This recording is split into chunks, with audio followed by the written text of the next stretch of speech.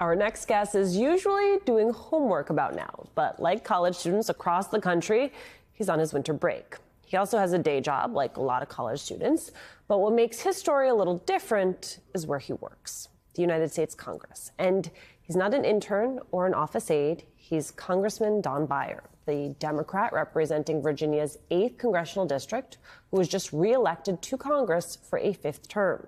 He has been studying things like multivariable calculus at George Mason University in Northern Virginia, working towards a master's degree in machine learning. His goal? To one day apply his knowledge of artificial intelligence to his work in Congress, especially as technology continues to evolve at a rapid rate. Beyer, who is a member of the House Science, Space, and Technology Committee, needs four more undergraduate math and computer science courses before starting his graduate degree in 2024. Joining us now, Congressman Don Beyer, who's also a member of the newly formed Congressional Artificial Intelligence Caucus. Congressman, thank you so much for being with us. Tell me what got you into AI to begin with. Alicia, I've always been sort of a, a, science nerd my whole life. When I joined the Congress eight years ago and asked to go on the science committee, they laughed and said I was the first person ever to ask to be on but it's been a, a, wonderful experience. You know, we're dealing with um, all the fascinating things that are going on in space and in medicine.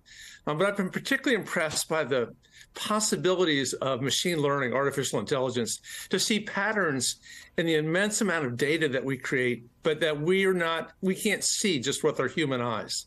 And you know, all of science is is cause and effect, and, and discerning those patterns. And uh, I tried to take a an online course on AI through Coursera, but the math quickly overwhelmed me. I just didn't have enough math background. So when I when I found out that they'd take a 72 year old in the math class there, I thought, well, let's try it, and it's been really fun.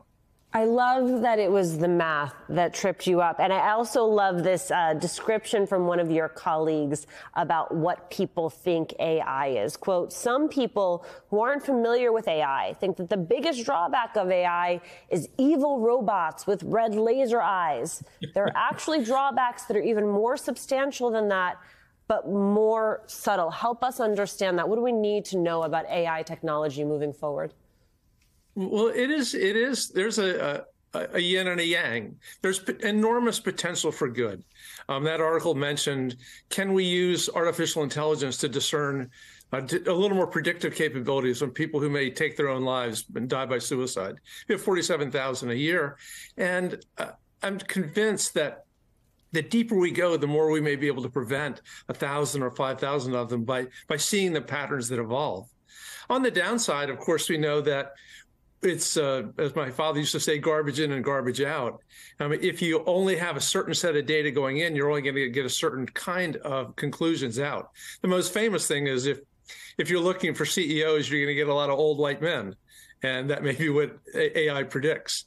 So we want to make sure that the inputs into artificial intelligence um, are, are, are valid across our, our whole population. You know, yeah. the the issues of not of, of equity and of it's really important. Equal AI is, is what they call it. Yeah, no, the equity question is absolutely huge when it comes uh, to AI. You know, part of the reason I love your story, Congressman, aside from the sort of like congressman goes back to, to Congress piece of it, is it does feel like we're living in a moment where the anti science movement is so strong that to have someone inside the House of Representatives who's saying science is so critical that I want to spend more time studying it seems like a true a true value statement. Yeah, and and Alicia, when you put that side by side with what you struggle with every day, the fact that we seem to be in America with two different narratives, two different senses of our own history, our own facts. Science should be a, a place where we all agree, where where there are, you know, it's always evolving, but there are really hard facts of what we know now.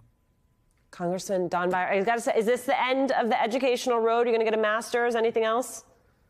Well, I, am I, I, you know, what I tell my kids is I hope to have my PhD by the time I'm 80. Then I'm going to go get a really good job.